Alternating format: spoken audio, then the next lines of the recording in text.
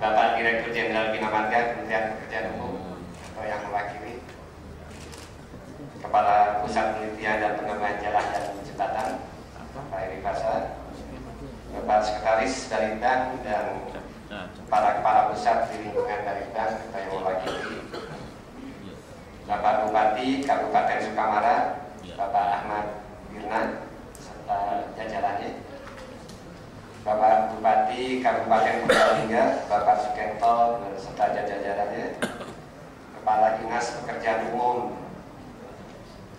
Provinsi Banten. Yang lagi menjadi selebritis ini di media, Kepala Dinas Bina Marga dan Pengairan Kota Bandung yang mewakili. Bapak Kabel Litbang, saya menggantinya sampai Bapak Gadi Harahap. Terima kasih Pak Gadi bisa di sini. Para pembicara, para hadirin sekalian peserta kolokium Puslitbang Jalan dan Jembatan tahun 2014 yang saya hormati. Assalamualaikum warahmatullahi wabarakatuh. Selamat pagi, salam sejahtera untuk kita semua.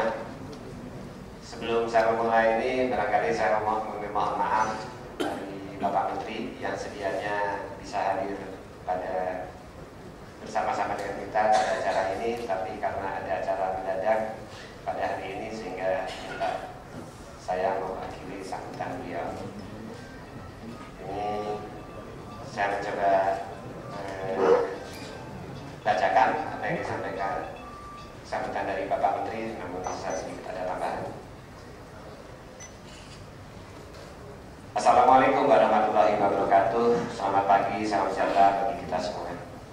Mengawali sambutan saya, marilah kita panjatkan puji syukur kehadiran Tuhan Yang Maha Esa sehingga kita semua dapat berkumpul bersama di kampus Putslit dan Jalan dan Jembatan Bandung dalam keadaan sehat walafiat untuk mengikuti acara Kolokium Putslit dan Jalan dan Jembatan tahun 2014 tadi dilaporkan yang ke-8 sejak tahun 2007. Semoga Tuhan Yang Maha Esa senantiasa memberikan bimbingan rahmat dan hidayah serta lindungannya kepada kita semua dan seluruh bangsa Indonesia.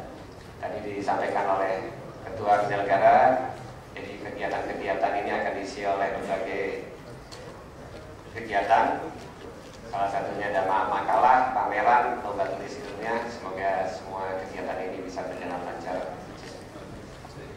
Hadirin sekalian yang saya hormati, memasuki era nilai medium ketiga saat ini ditandai dengan kompetisi daya saing yang ketat posisi dan peran suatu bangsa dalam konstelasi perekonomian dunia akan banyak ditentukan oleh daya saing kreatif terhadap bangsa lain.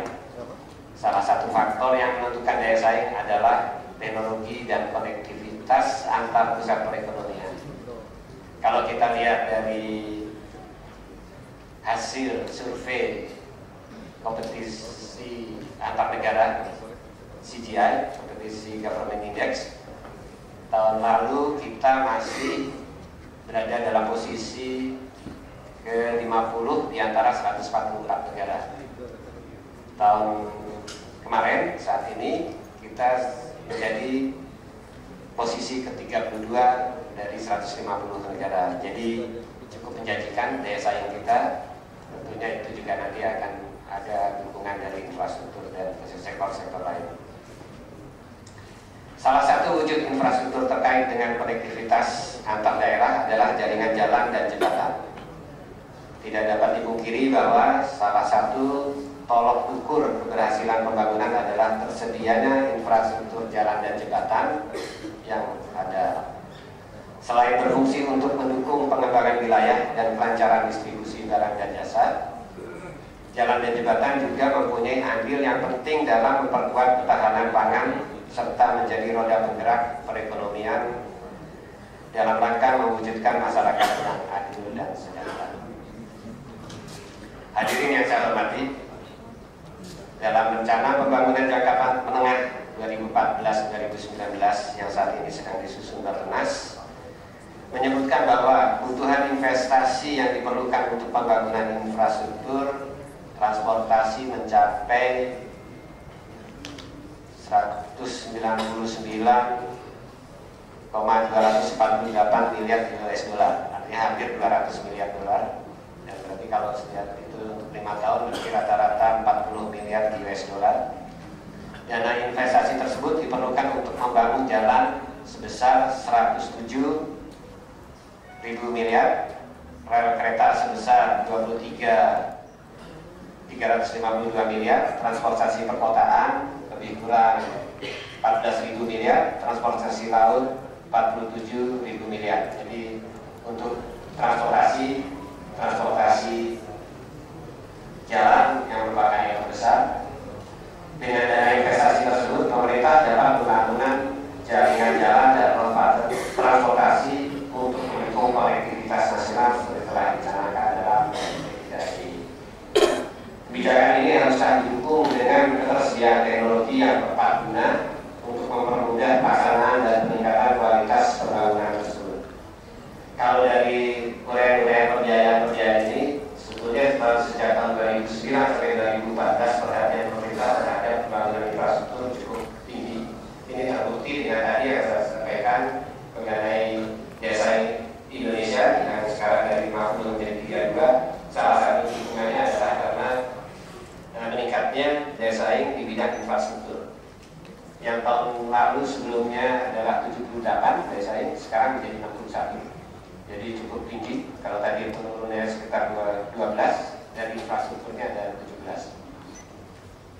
Isu lain yang harus diperhatikan adalah tantangan perubahan iklim yang terjadi di hampir seluruh dunia.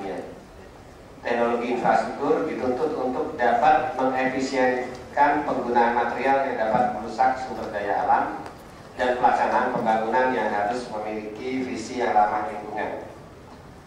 Tantangan tersebut harus dijawab dengan inovasi teknologi jalan dan jembatan yang ramah lingkungan untuk mendukung pembangunan infrastruktur yang berkelanjutan yang juga merupakan salah satu rencana strategis Umum. Hadirin yang saya hormati, sejalan dengan tuntutan terwujudnya infrastruktur yang ada Dibutuhkan penyelenggaraan infrastruktur dengan pendekatan teknologi yang aplikatif. Inovasi teknologi yang praktis, efisien, dan efektif harus terus diupayakan untuk mendukung ketersediaan infrastruktur yang sesuai dengan perkembangan zaman saat. Penelitian dan pengembangan teknologi tidak lagi hanya menunggu terjadinya permasalahan di lapangan, tapi juga harus sudah dapat membaca arah dan isu strategis infrastruktur ke depan. Hal tersebut mengingatkan kebutuhan akan teknologi baru masih terus dibutuhkan seiring dengan pesatnya pertumbuhan. Salah satu sorotan masyarakat terhadap kinerja infrastruktur jalan dan jembatan terlihat pentingnya peran pemerintah mendorong tersedianya teknologi aplikatif dan ramah lingkungan untuk pembangunan jalan yang berkelanjutan.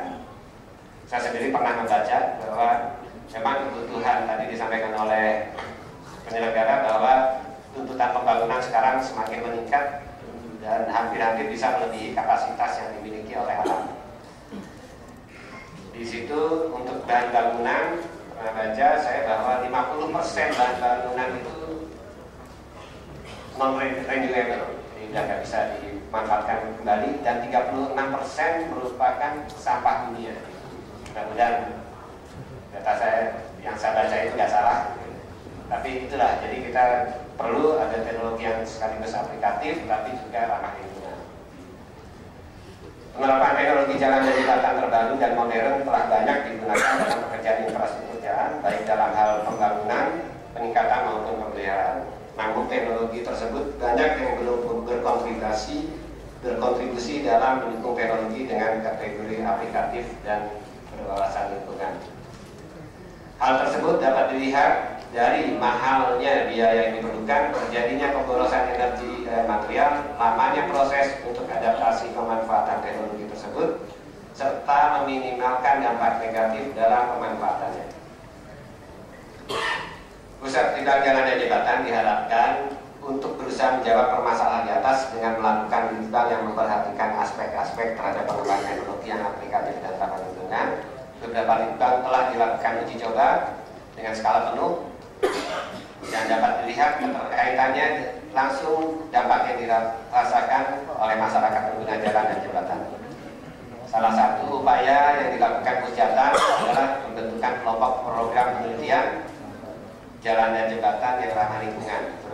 Beberapa kegiatan yang telah dilakukan kelompok ini antara lain penyediaan teknologi perkerasan jalan yang rendah energi dan emisi seperti tadi dilaporkan, teknologi daur ulang dan pemanfaatan material, teknologi cegah erosi lereng jalan yang ramah lingkungan dan penyediaan teknologi jalan yang berbasis material lokal. Tadi disampaikan oleh Pak Pusjatan bahwa beberapa teknologi ini juga telah diterapkan di daerah. Terima kasih kepada Bapak Bupati Sukamara yang telah mencoba mengaplikasikan secara skala penuh dan di sini juga ada Pemda Purbalingga yang mencoba menjajaki kemungkinan-kemungkinan di masa mendatang akan menerapkan secara penuh teknologi yang telah dihasilkan oleh Muslim Negara. Hadirin yang saya hormati, kegiatan ini merupakan momentum yang sangat berharga bagi kita untuk dapat mempertukarkan capaian teknologi dan hasil bidang yang ada bersama para praktisi, akademisi, serta masyarakat secara luas. Saya berharap Puslitbang Jalan dan Jembatan dapat terus meningkatkan kualitas hasil litbang dengan memperkuat sumber daya manusia, prasarana dan sarana litbang yang lebih andal.